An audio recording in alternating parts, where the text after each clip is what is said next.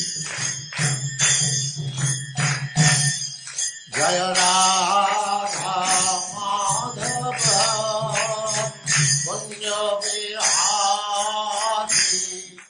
Hare Krishna, everyone. Welcome to Books Are the Basis Week 2024. This is organized by the ISKCON Ministry of Education.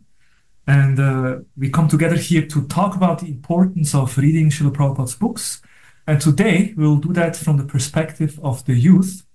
And I'm very happy to introduce our special guest for this session. We have with us His Holiness Swayam Bhagavan Keshav Maharaj. Hare Krishna Maharaj. Thank you so much for joining us. Hare Krishna, thank you so much for having me. Really happy to be here with uh, all of you. Hare Krishna. Yeah, Maharaj um, is a very dynamic preacher, traveler, and author of several books. And Maharaj has served for over 20 years at the Bhaktivedanta Manor. He's developed many different uh, programs, such as the Bhakti School, and has a lot of experience to preaching to the youth. And, and also, I think Maharaj received uh, sannyas from his spiritual master, Somes um, Kadamba Kanana Maharaj, in the summer of 2022. And since then, even more travels and preaches. I think Maharaj is known for his uh, ability to present ancient wisdom in a ve- very relevant way for today's world. So, thank you for being with us. Then we have uh, His Grace Manoram Prabhu with us. Hare Krishna Prabhu. Well, Manoram Prabhu is a senior devotee and has been serving for many years, I think more than 30, almost 30 years now, as the minister of the um, ISKCON Ministry of Youth, the Youth Ministry together with his wife Chai Sri Radhe Mataji. And uh, I personally feel that, you know, like in a very dynamic way, a very active minister, has developed many different programs. And one of the famous one is the bus tour, traveling with youth throughout across the US and since a couple of years also in Europe. And in this way, in inspiring, encouraging many, many young devotees to take up Krishna consciousness serious and be active in the mini- minis- uh, ministry uh, activities. And at his home in uh, Alachua, Florida, Prabhu also runs a, a like weekly Bhagavad Gita study group for the local youth. So a lot of experience with working the youth. So thank you so much for joining. Happy to be here. Humbled to be here. Thank you. fortune. It's our good fortune to have your association. And then last but not least, we have Malini Mataji from Sweden. Thank you so much for joining us. Uh, very nice to have you also with us. Uh, We, we felt we want to have a young devotee also on a panel. And Malini also herself, she has worked with youth for 10 years and has you know done drama and work with, with young people and uh, lives in the south of Sweden.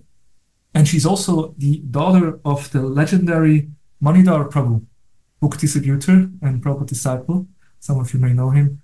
So it's wonderful to have, you know, next generation of devotees uh, also concerned about the importance of reading, studying Prabhupada's books. So thank you for joining. Thank you so much. I'm also just very glad to be here and excited to talk about this topic.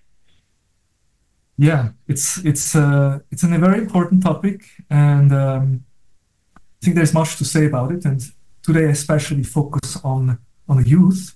So let's see. Um, maybe we can start with the very basic questions of um, yeah, why is it important for the youth of in ISKCON to study Srila Prabhupada's books? What what's the importance of that? Well, let's start. You're gonna have to call on people. That's what happens in youth groups. Pick up unless you call on them. Yeah, I would say Manoram Prabhu, you're the most uh, senior in our Well, one of the thoughts that I have is that youth are the future of our movement. So if they, you know, have to carry on the mission, they need to know what it's all about, and and are the, you know, so they need to learn the philosophy, and that's within Srila Prabhupada's books. So it's very important for us to, you know, take the time to inspire them to study the books. Thank you. Uh, it rem- reminds me of a purport by Srila Prabhupada about the, the Ajamil story where Prabhupada says the messengers of a master need to know the mission of their master. Mhm. So yeah, the, the youth are the future of ISKCON. And if they don't know what's Prabhupada's mood and mission and, and what's right. all about, who will know? You know, like, yeah, very important point. Yeah. yeah I think for me, um, you know, there's this famous story where someone, I think, he asked Prabhupada, like, why is everyone in your movement so young? And Prabhupada said something to the effect of, you know, like, why is everyone in the school so young? And Prabhupada kind of sort of rhetorical question. And then Prabhupada said, because youth is the best time to learn. That's when you learn. And it's almost like, you know, when you're young, you have your whole life ahead of you, like have all these decisions you have to make. You have to decide like where you're going to live, what you're going to work as, who you're going to marry, how you're going to live. And it's almost like by reading Prabhupada's books, you kind of get that big why, like clear in your mind, like this is what life is about. And when you have that why, then the how and the what and you know all those answers to those questions become I wouldn't say easy, but easier maybe because you have a sense of like where I'm going in my life. And and so it's like it's really strange because there's this whole thing that people think religion is something you do when you're old, when you're close to death, and when you're because they always think of it as something for the afterlife. But like from my experience, whatever little experience I have, it's just helped me so much in the here life, like making decisions, navigating complexity and all of that stuff. So it's almost like, yeah, probably just books just equip you for life. Like I guess that's one way you could, yeah. Mm-hmm. Yeah. Malini, you like to? Yeah. I don't. well, I agree with um, all of these points, and when I was thinking about this, it, I was thinking that the books they are the basis. I mean, that's what they tell us what to do and why we do it. Again, the why. Um, and it's also the foundation of our spiritual practice because if we don't if we're not equipped with the knowledge then when life throws something at us it does become more difficult to deal with it. And also Mm. yeah i feel like when you it's like when you're building a house you need a strong foundation. And i find sometimes with the youth they they want to jump straight to the the good stuff the, the, the kind of the basics and the philosophy is not always that fun maybe. But it's it's what builds the stability, the simple things of of uh, what what Prabhupada starts with, and we need to we need to start. We need to learn from the beginning. So, I think that's important for any for anybody. But it's nice when it happens from the youth in the beginning. Mhm. All right. So I, I hear the the basis that needs to be foundation that needs to be laid, and also the why, because young people they do ask, you know, okay, what what will life bring, and Prabhupada's books can give a certain sense of direction. Yeah, yeah. And Malin, uh, Malini, you just mentioned that you know sometimes youth maybe they are kind of attracted towards that which gives fun. You know, Mm. maybe study is not exactly that which seems to be so attractive. Mm. Kirtan, for example, is a very big, you know, like I mean, everyone likes kirtan. Mm. So how do you think like this this ancient knowledge, it's thousands of years old, how is it relevant for the for young people today?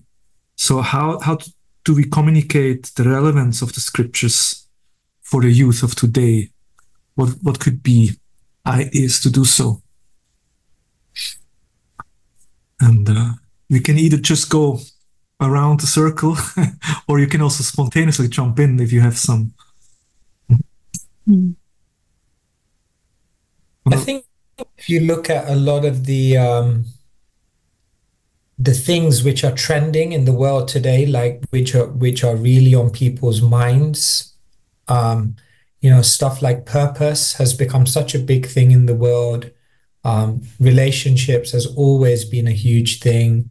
Um, kind of navigating change and resilience and kind of it's a very volatile, uh, kind of constantly evolving world that we're living in. So if you kind of look at all of these things that the human experience of what people go through in this world, um, it's so it, it, it, it, it's so much addressed within our scriptures, you know, and and so I think a lot of it is just that you know we always talk about how the scriptures are timeless and how the things that they talk about um, are things that people go through in their hearts and their minds and their lives in all times, places, and circumstances.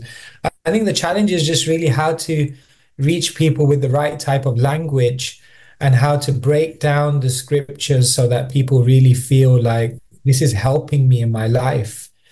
Um, I think sometimes scriptures have just been seen to be philosophically very lofty or very otherworldly or just almost so disconnected from like my life tomorrow that um, people just tend, tend to like neglect them or not explore them as seriously. Mm. Um, it's kind of interesting even now. I think I think a lot of devotees in our movement they read a lot of self development books, which is well, I don't know whether that's a good thing or a bad thing. Maybe it also helps them, you know, and and they need practical help. But it would be nice if we could also see that a lot of that is already within our scriptures, and it's just a matter of mining it, you know. Um, so Yeah. those are just some of my thoughts. understanding the Bhagavad Gita to be the original self-help book. I think that that's one of the approaches that Maharaj you also present in your seminars. Yeah, Mm. yeah. Manoram Prabhu, like to add something? Our- in our weekly youth Bhagavad Gita study group, this is a big topic. You know, obviously, if it's not relevant to them, they won't pay attention. So we try to really, you know, whatever we read together, we try to find the points that are relevant in their young lives. And one thing that I've noticed and picked up on is that they don't want to be embarrassed in school by friends asking them, What is it all about? What do you believe in? What's a Hare Krishna? You know? And they have no answers because they haven't studied the philosophy. so that's a big motivating factor for them to come to Bhagavad Gita study. And they're they asking all the questions that they get asked in school. You know, professor asks them or their friends might ask, like, how do I respond to this person? What do I tell them? You know? So okay, well let's look this up. You know, let's look at, you know, what the Bhagavad Gita says. Oh, I find that interesting that, that, that they feel like, well, I'm a Hare Krishna, I grew up like that, and it's Right. my, my belief. But then how do I communicate that to the outside world? Because people do ask, and yeah, The other thought that I had is that there's a famous uh, Bible that's distributed in every hotel room in North America by the Gideon Society. And at the front, they have an index to try to make the Bible relevant to everyday persons. And it Oh. says, if you're depressed, read this section. If you're curious about such and such, read this section, right? So that would be an interesting thing to develop because it's like a thematic approach, right? Scriptures have so many answers to so many things, but where do, where do I go? You know, where, which page do I turn to? Hmm. Sorry to jump in just on that, Manoram Prabhu. We did actually do something with that with the BBT, the North European BBT. So I don't know, like if you look in the new versions of the Gita, we have something in the front called Answers from the Gita. Okay. And what we did is we came up with about 30 questions, you know, like why do bad things happen to good people? oh, What happens when they die? mhm. um, you know, like uh, what is karma? Um, and then we gave a, um, we we actually gave a, uh, yeah, like a reference for it. So yeah, we kind of took that idea because that that is really that's fascinating for people if they just want to get an immediate answer or an immediate bit of wisdom. You know. Mhm. Mm. Molly? Malini, how do you make how do you how, how do we keep it relevant for the youth? yeah,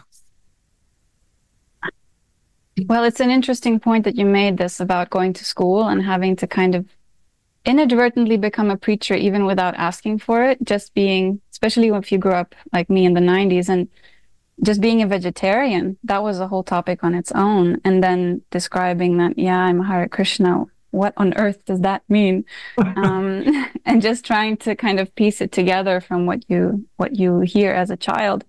Um, but I also think that's why it's so important to engage the youth in reading Srila Prabhupada's books because those gaps of knowledge, it um, it uh, it's it's sometimes difficult to deal with because um, well, I know at least with my group with um, with some of um, the young girls in my group that I remember just recently um, one of them finding out that Chaitanya Mahaprabhu was here 500 years ago, and her eyes just exploded. She and she's she's second generation. She's born in the movement, and she thought that's so I mean, that's so recent.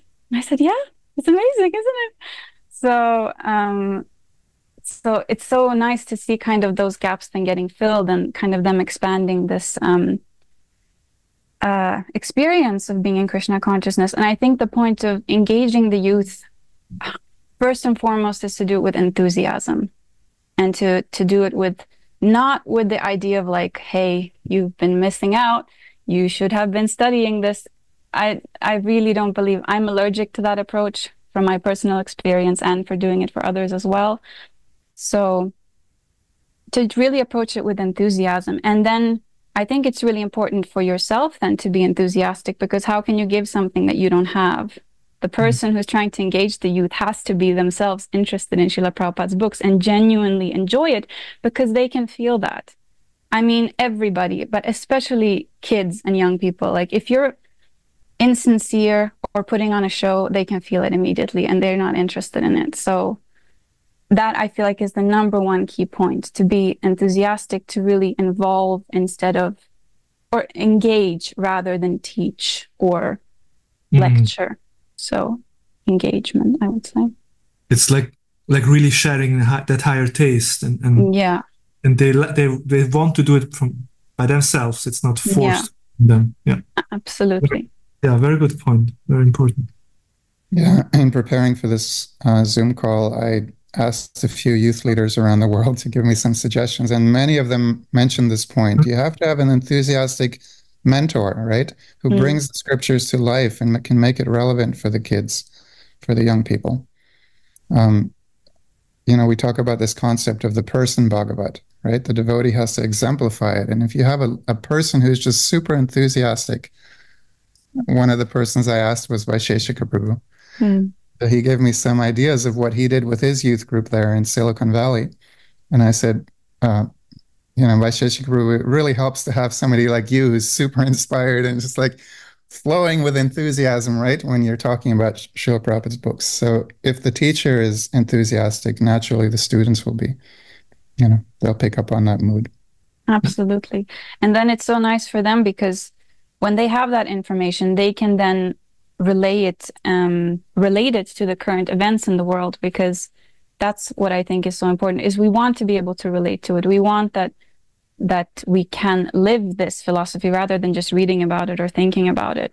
And I think that's why it's really important to discuss it with the youth because I think in some ways the world can be more confusing than ever right now. And um and to really have that space, open space for discussing all topics and then kind of trying to approach it from the scriptures and Open, safe, safe space where they can ask all kinds of challenging, difficult questions that they may not feel comfortable to ask in the traditional temple Bhagavatam class. Exactly. They have all kinds of questions. Once you get into it, it's like, but why? But why? Why should we believe this? You know? Yeah. But they don't feel comfortable in, you know, they have to have some relationship and some friendship with the person they're discussing this with.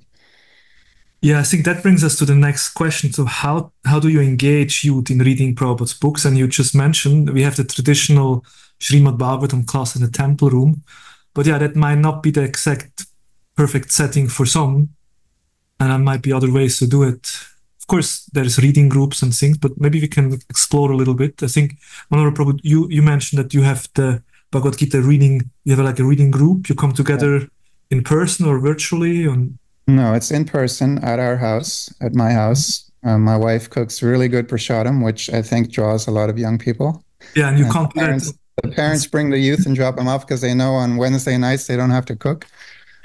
Um, and it's you know you you know surprise you may be surprised to find out that most people don't come for the philosophy. They come for the sangha and the friendship because all their friends are going.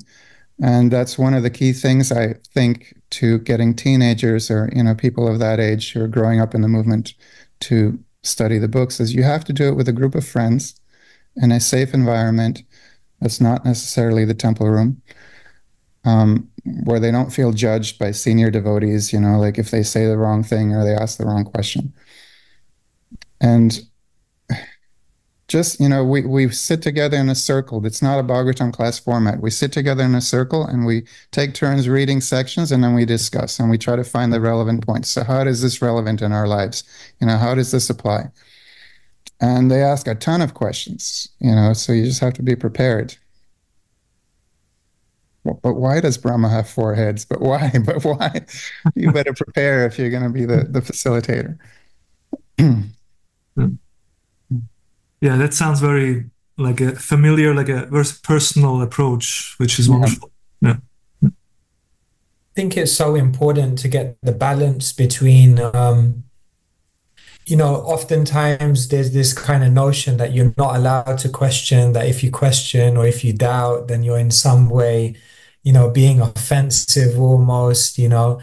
And then there's the whole other side where it becomes like you just begin to question everything and it just, it becomes almost like unhealthy as well. And it's like just creating an atmosphere where there can be that balance, questioning, that openness, but it's also progressive.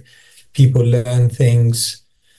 Um, and one thing I've seen with youth is that when you do create that atmosphere, they there is a lot that they've actually thought about.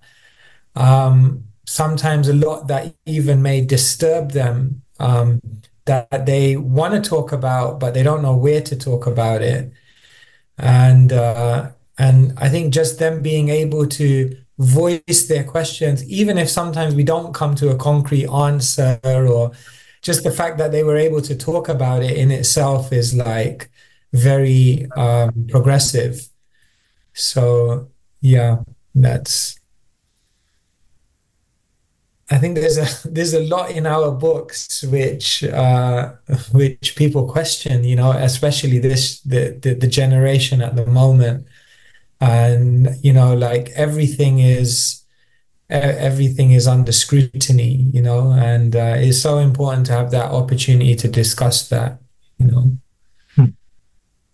Otherwise, people end up kind of following Srila Prabhupada out of kind of like, okay, well, that's what we do in the Hare Krishna movement. We follow Srila Prabhupada. That's what we're meant to do.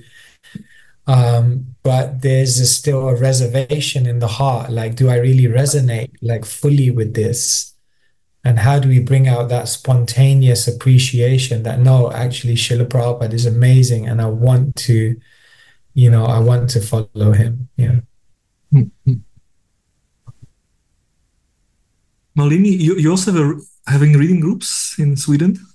Yes, yes, we have. Um, we've uh, started a study group called Prema Sangha, which is uh, um, it's kind of like an introduction course that we do for like the beginning of Krishna consciousness, the ABCs, and and yeah, so we we learn, we discuss, and but there's a big um, emphasis also on building um, strong friendships and bonds within the group itself.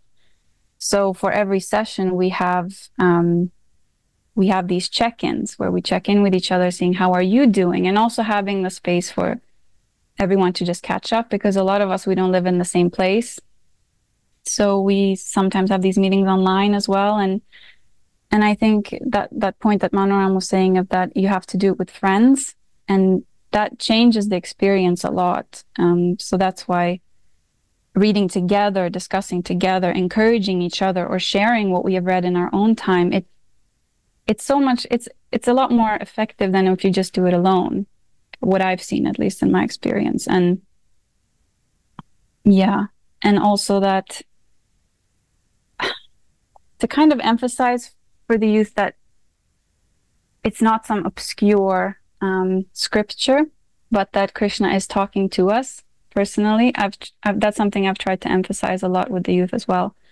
Um, that he is talking to you and me personally, and that that was that was a big moment for me in my reading journey when I was rereading the Gita, and I, for the first time, I felt like, oh, okay, Krishna is talking to me. Like, yes, it's Arjuna, um, but it's also that invitation of that we're learning from Krishna, and the the process is actually quite personal.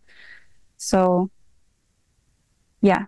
So, but we we try to focus on that as well as that caring about each other as people, as friends, and then, yeah, learning together. All right, so we, we spoke a little bit about the importance of reading and also some ways to engage youth. So what about the challenges? I mean, what are what are common challenges encountered when introducing youth to reading Prabhupada's books? Maybe we can talk a little bit up, about this. Um, I guess there would be many challenges that could come up, right?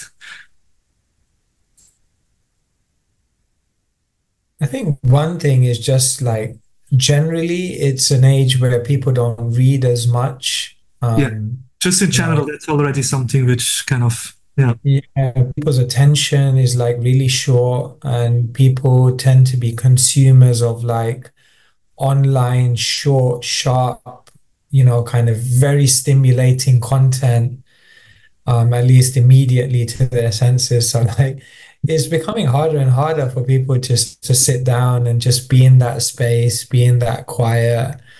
Um,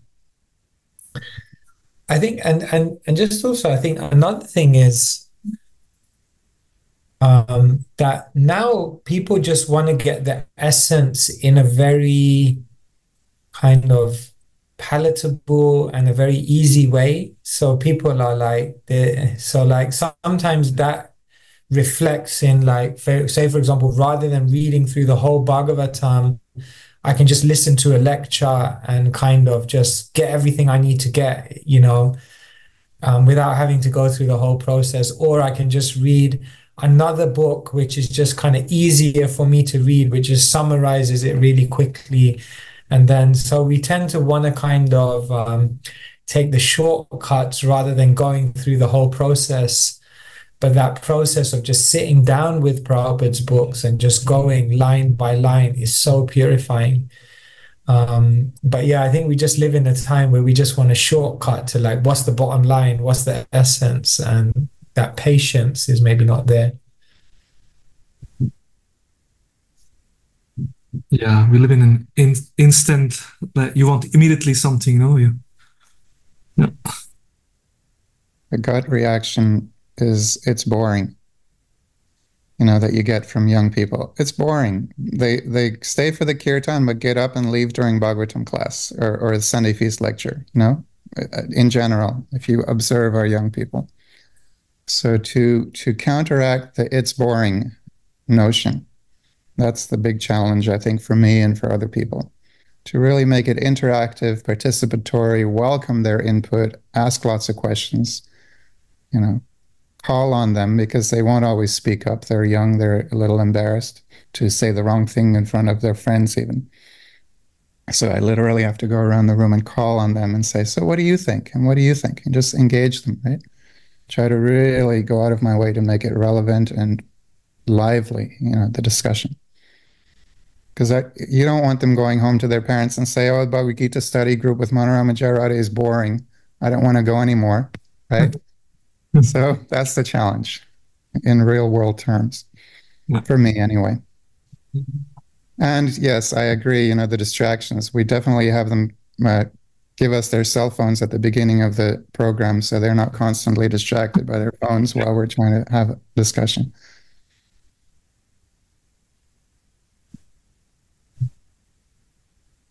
Yeah. Malini, what are the Swedish challenges? Well, I feel I've been quite lucky in that for some, like, well, the the young boys in our community, they're so fired up. They're on, they're on already on Sankirtan trips around the world, and with the girls, I I see that they they have a natural inclination. I mean, when we go on, when we visit different temples and everything, they do show up to class, so they kind of have a natural inclination, which I'm very grateful for.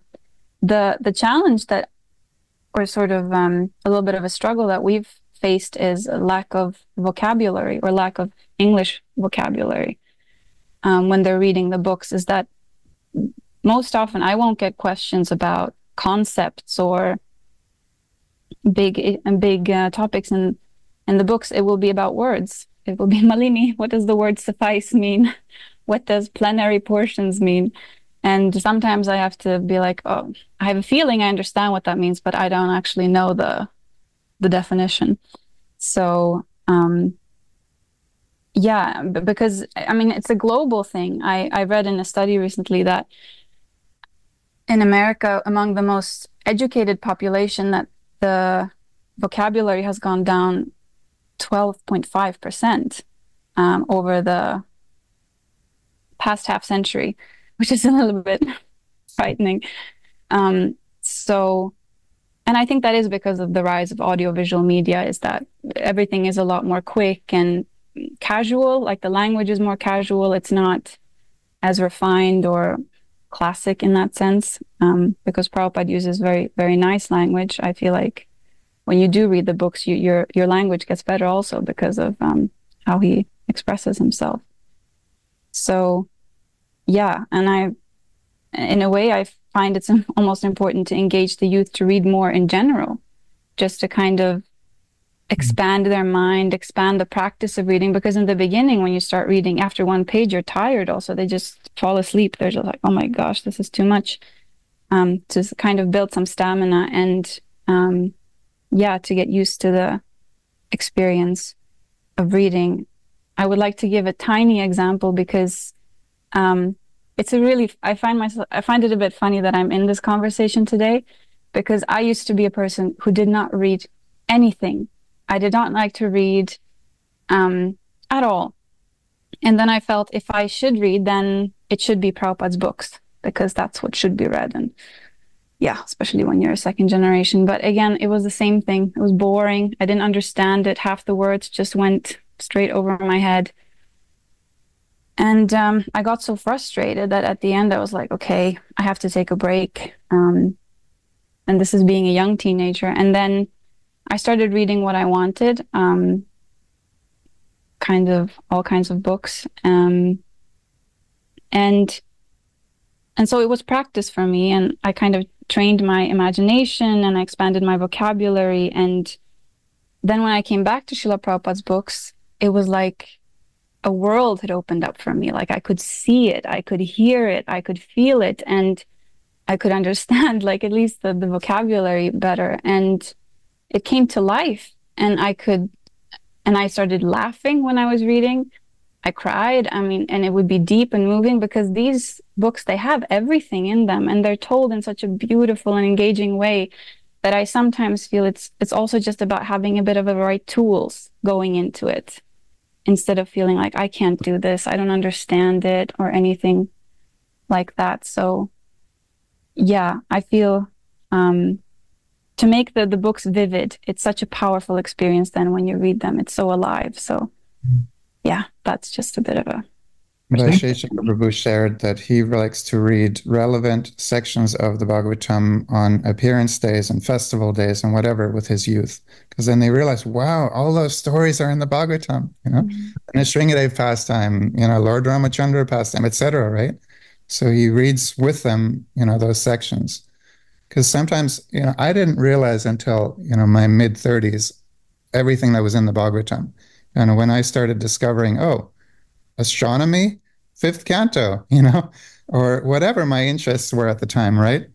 There's so much in there and and and kids don't realize it. Or, you know, somebody mentioned to me, well, the kids really like Mahabharat.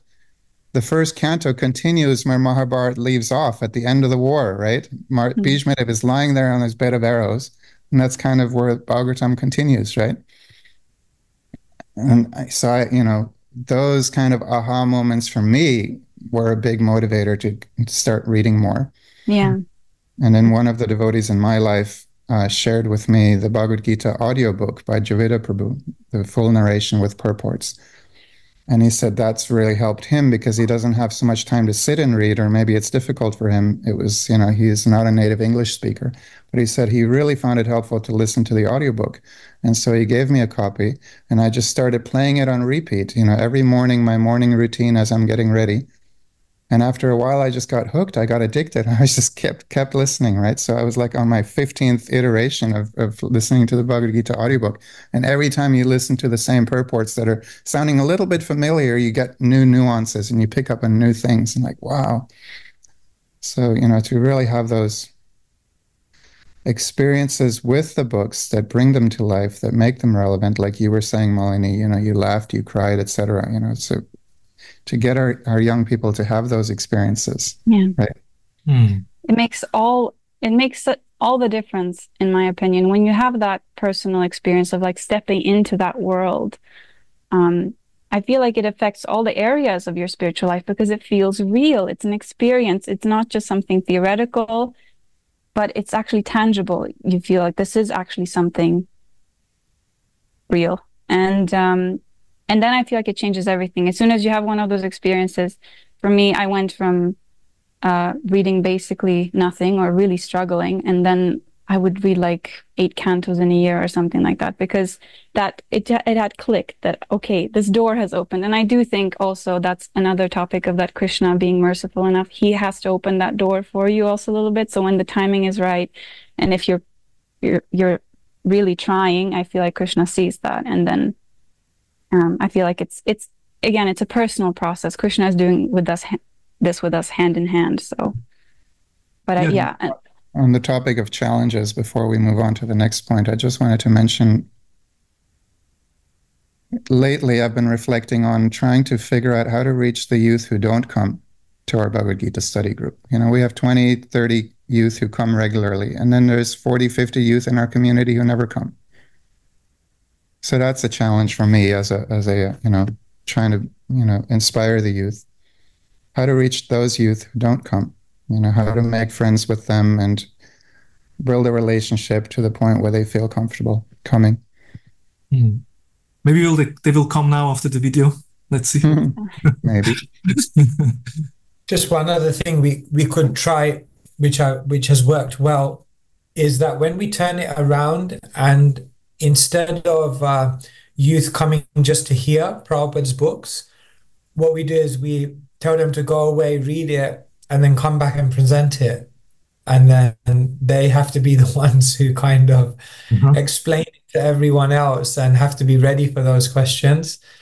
Then it immediately it puts them in a different frame of mind. Um, and they they begin to think quite creatively as well and begin to kind of go forward and think like how how would someone else take this and how would I answer this and it just creates a whole nother kind of stream of thinking and so that that's been quite interesting as well um, to to ask them to present stuff and Hmm.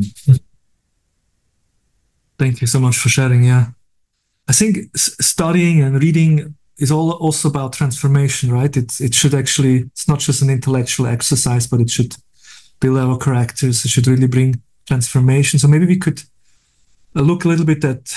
Um, I mean, we spoke about challenges. What about success stories, or and maybe maybe you you all have some experiences or some example of of how some of the devotees under your care kind of really changed a lot or um, you know or maybe you i mean either yourself or some of the devotees you're working with. Someone likes to share some examples of how the study of Prabhupada's books really changed the lives of some devotees or made a difference in their lives. I think I, I did have like one very interesting experience with someone who was kind of very um, didn't read much, um, quite shy, um, not really like a, a, preacher or a kind of social um, person. But we started reading Prabhupada's books with him, and uh, he began to feel like so many of his questions were answered, and he felt as though it was giving him purpose, it was giving him confidence, um, and it was just giving him clarity in his life. And it was quite interesting because he became so inspired that um, he became a book distributor.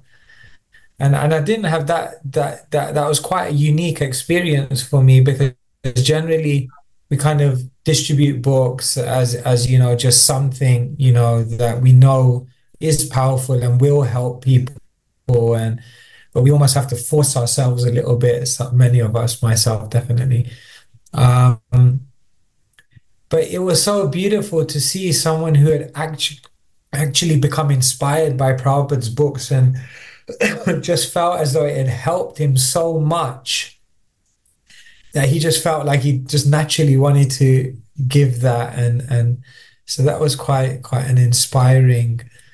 And you know, uh, like Manoram Prabhu was talking about Vaisheshika and he just talks about, you know, like as much of a Sankirtan general as Vaisheshika Prabhu is, you can see he's just so much also like the sadhana and the kind of diving deep in spiritual life and and you see how those two things really work together Mm. um, so for me just to see someone who's very shy very like not not necessarily a preacher become so inspired that he almost came out of that identity because it was so valuable to him um, what what he was giving to others so that was nice That's pow- powerful if someone, you know, realizes the great wealth in Srila Prabhupada's book so much so that he actually wants to share it with others. That's, yeah, that's beautiful example.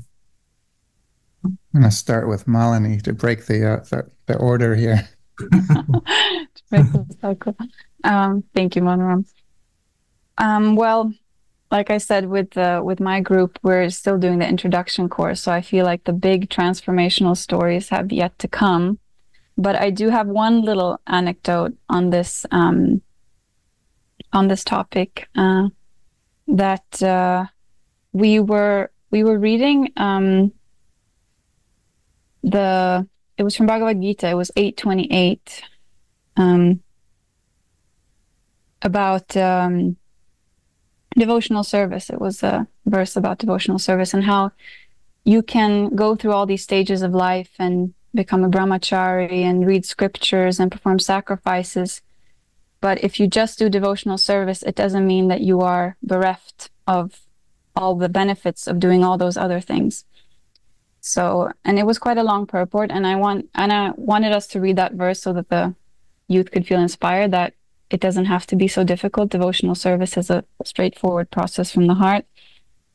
Um, but it was it was it was a bit of a long purport, and it was hard for it was hard for them to let it sink in, and so I we kind of went into this analogy of that for mountain climbing that if um, if you're mountain climbing, uh, you can do it unsupported or supported. So when you're doing it supported, you have all these safety things and you go slow, but you have the safety. So if you fall, that it catches you. So it's slower, but you're climbing to the top. But if you're unsupported, you can climb very fast, but you run the risk of falling if you get pushed by the wind or something. So doing devotional service, just not reading the scriptures or anything, it can work, but you're climbing in a kind of unsupported way. You're going, you're going, you're going straight for the top. You want to reach it, you know, which is really nice, obviously.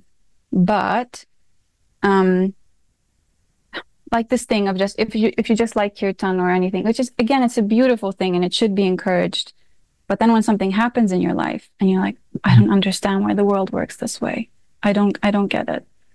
Um, then it's really helpful to have those safety things going up. So I kind of explained it to them in that way that reading the scriptures and doing all these things, these practices, having sadhana bhakti, it can feel like it's slow and a bit tedious sometimes, but you're doing it steady and you're gonna make it to the top eventually. And then kind of a light bulb went off in their eyes and they're like, oh, that makes so much sense. and it's those moments that I really I live for when we read together is that when we can talk about it and discuss it in a way that they are that it does make sense to them and they feel like okay now now i get it um, so that's not a big transformational story but it's those small moments which i feel are also important Mm. Beautiful. Thank you so much for sharing. Yeah, I, I was actually going to mention that define success. You know, yes, we have the you know the Manushyanam Sahasreshu, there's one in a million, right? Who who like really takes it seriously and, and shines. And you know, mm-hmm. I can think of an example. I'm not going to mention his name, but you know, he was a really shy kid, was really into playing sports and basketball. Started coming to our youth groups, got inspired somehow by the association, the sangha, and the readings and whatever. And now he's giving Bhagavatam class at our temple. So yes, you know, we have shining examples of, of youth who graduated from the program and they really got inspired. But you know, back to you know, how do you define success? I I see success in much smaller steps, like Malini was saying, during our reading group. When you have kids who don't normally participate in the discussion, and all of a sudden they get excited, and something clicks, right? And they start participating, and they start getting excited about about the topic or at the end of our reading, we ask for um, for everyone to share their takeaway. You know, what did you get out of the discussion? And we go around the room, and everyone has to share, or gets to share, and to see it reflected in the students, right? So you've tried as a teacher as a presenter to really convey something, and then they're reflecting it back to you, and you can see, okay, they got it, right? So to me, that's success, right? It's not just, oh, you know. Anyway, back to this point that I, I want to make it relevant for all the young people in our community, not just for the 10% or less that are really philosophically inclined. You know, so what is success? You know, even if they appreciate little aspects of it, if they keep coming to the Bhagavad Gita study group, you, you know, month after month, year after year, that's success. Mm. Thank you. Maybe we can look into the future a little bit. What mm. um, what could be future aspirations or goals for ISKCON in terms of youth engagement with Prabhupada's books? I don't know, in the sense of what would you like to see in ISKCON to, to be developed, or uh, what could be done better in the future to encourage youth? Maybe you have just some some vision or some ideas or, or some desire how things should be. Any thoughts on on that?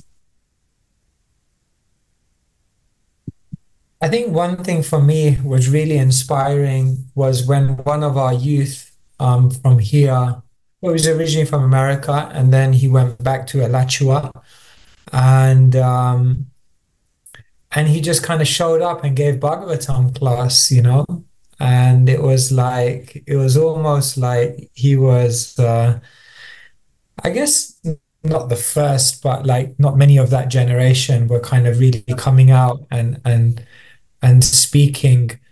And when he came out, I think it really came out and gave a gave a class. I think it really it spoke volumes, you know, um, just for other youth to hear another young person speaking their realizations about Prabhupada's books, and just to show them that yeah, they can do this and and that's what I try wherever I go to encourage um, the youth to just express their realizations and to discuss. So I think, yeah, giving them more opportunities to also um, share what they're reading, and um, I think that's really it's inspirational. Yeah, yeah our, our temple president is very much inclined to work with our youth. So they encourage our young people to give Bhagavatam classes and Sunday feast lectures, you know. So then that forces them to really study and look into it and like, whoa, I have to present.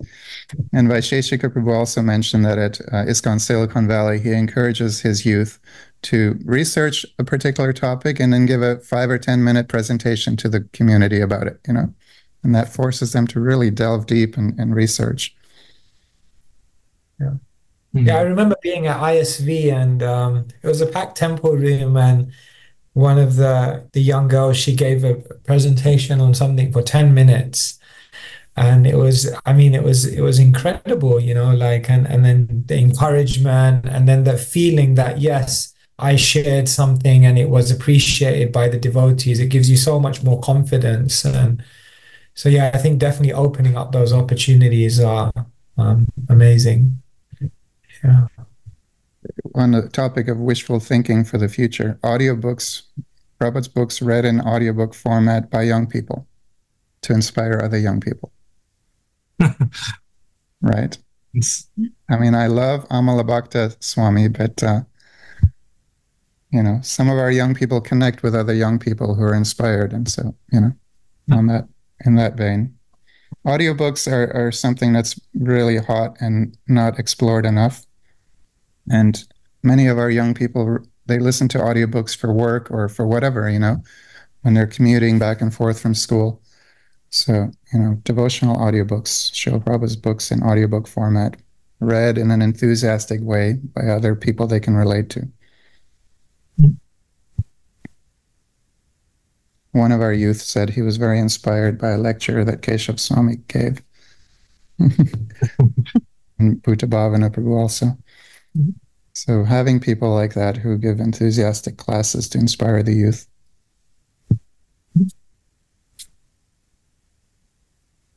Malini, what would you like to see happen in the future in this regard? Manifest. I would also love audiobooks to uh, be become a bigger thing. I also know um, there's some in my group they're they're dyslexic also. They just find it hard to read on just a really basic level.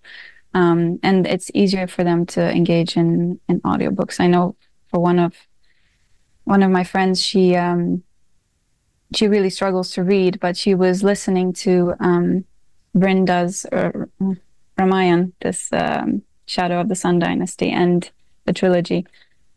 And she flew through it. She really, because again, she it became alive for her. She was in that world, and it was um, engaging for her in that sense. So that would be nice.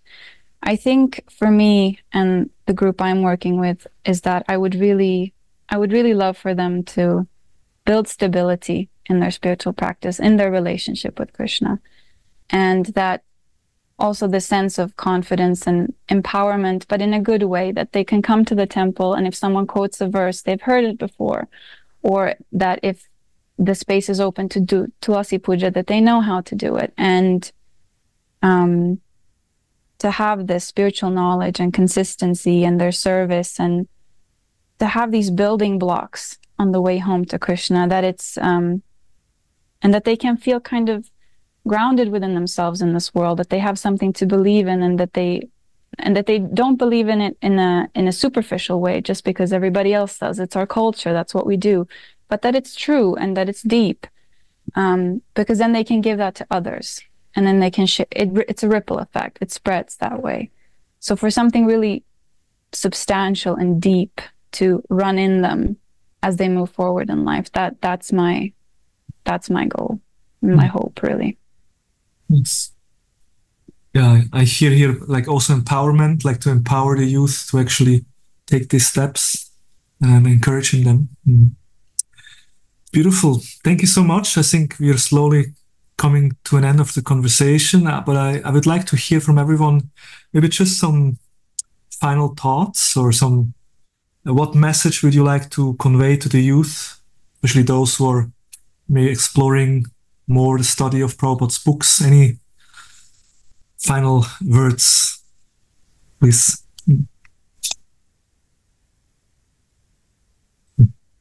I can begin. There's something I'm quite passionate about um, for young people, um, which which I kind of did in my life and and, and took me in a different direction.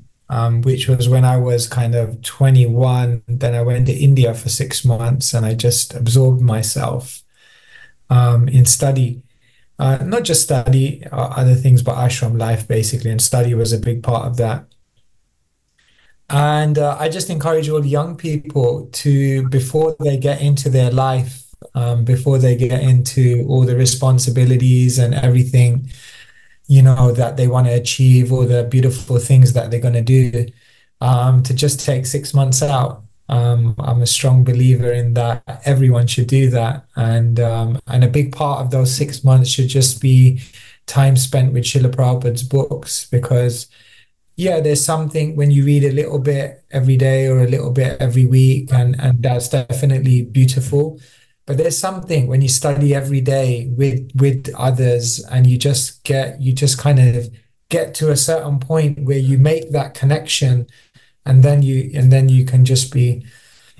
So yeah, I I believe every single young person should take six months um, to explore the world of Krishna consciousness and Prabhupada's books. It will be that would be amazing if we could get to a point where every single young person did that in our movement. And yeah, just thanks to also Manoram um, for all his initiatives. I was just with the Euro bus tour, and it's amazing to just see all these like yeah, amazing, full of life and Um, so I know yeah, devotees have been doing that in Sweden. I know um, Malini and the whole crew, they're such an inspired bunch, you know. So yeah, I really feel hopeful. But yeah, those six months I think would be amazing.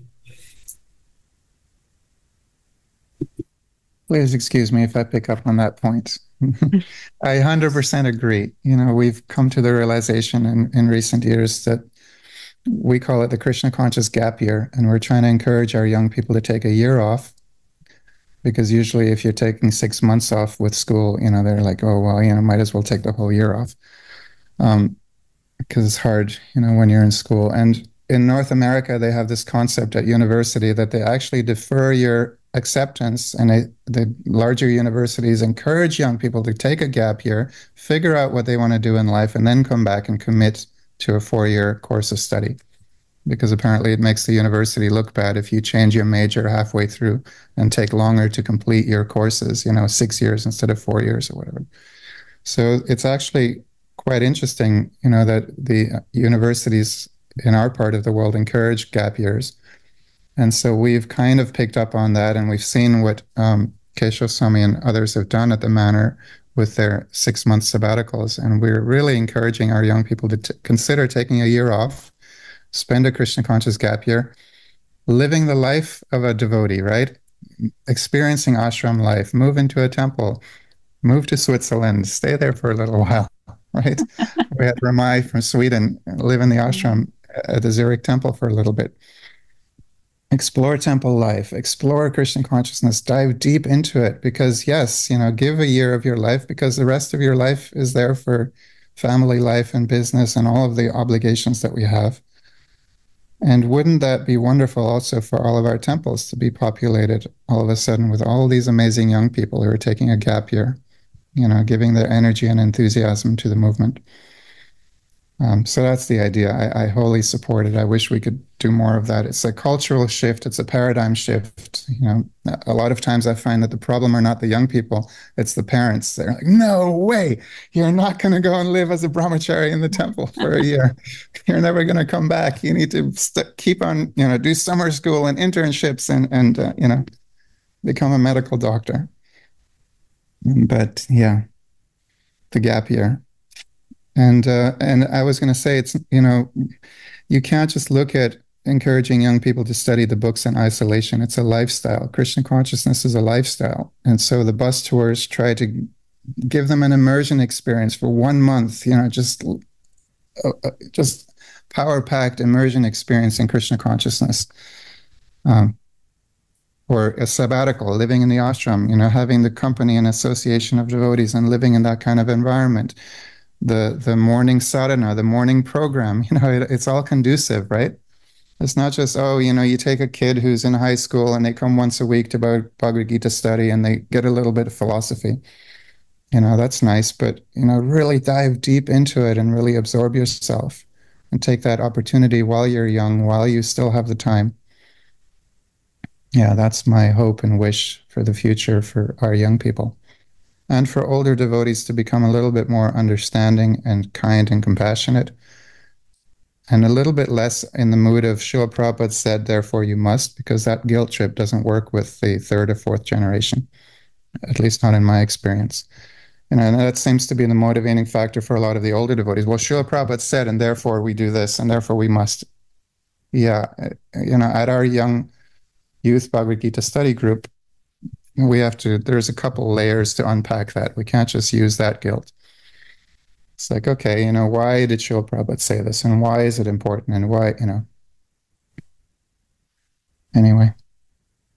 We, we they're in trying to create a, a youth-friendly environment at temples and Krishna Prema Rupa Prabhu, you know, because we discussed this about doing, you know, sabbaticals or Krishna conscious gap years at the Zurich temple. The temple president has to be on board. There has to be a certain mood that's encouraging for the young people, right? Not just that you never talk to them and you just expect them to, you know, do all of their service and, you know, yeah, there's there's some mentorship there.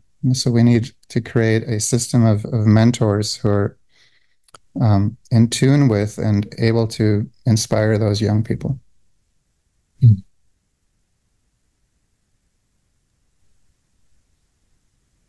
Malini, you have the last word. Thank you. Um, it's really nice to hear all of you talk about um, talk about this and the different perspectives as well. And I totally agree with the gap here that it's it's really it's a different experience when you immerse yourself fully, and that's your just a, because sometimes with especially with second generation you have a devotee life and you have a normal life kind of and you split. So and sometimes when you're a full devotee, it's interesting, but actually the goal is to merge them together as much as possible. But just to offer a different perspective, I would like to speak on behalf of those who feel that they either can't or they don't have the opportunity to take the gap year or to do a full immersion. So I just want to speak for that um, uh, margin and um, to really and to feel because a lot of people struggle with time also finding time they're so busy with school everything and so for for those people i would really encourage them to start small and be kind to yourself. Again don't approach it from a point of view of guilt but rather inspiration and curiosity more than anything else. What what is there to be discovered here? And uh, i'd also like to end with a quote from one of my favorite people on this planet, uh, Manjali Devidasi, who is a Prabhupada disciple. And I remember when I was in the ashram at the manor, she came and she spoke to us girls one day and, and she told us, Remember, we are training to play with Krishna, not to become dry philosophers. and I really loved that because it really put the whole thing into perspective of um, and also krishna says in the gita you cannot understand this knowledge with your intellect. It, it happens with the heart. So yeah so remembering that we're that where we're actually going what we're learning to do and then i feel like that also gives an impetus to then put in the real work and no i want to build this structure properly i want to pave this road properly home you know and and and books are the basis of this whole process it is the library of our whole existence. And I feel like opening a cover is like opening a door to Krishna.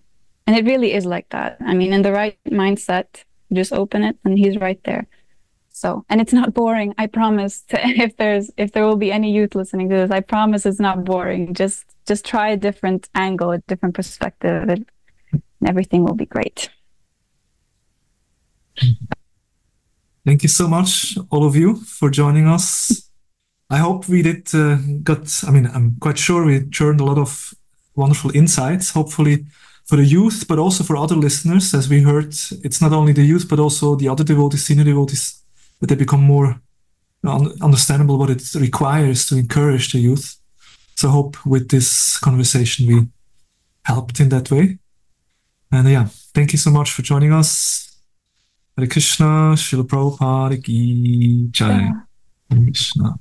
Hare Krishna, Hare Krishna, Krishna Krishna, Hare Hare, Hare Rama, Hare Rama, Rama Rama, Hare Hare.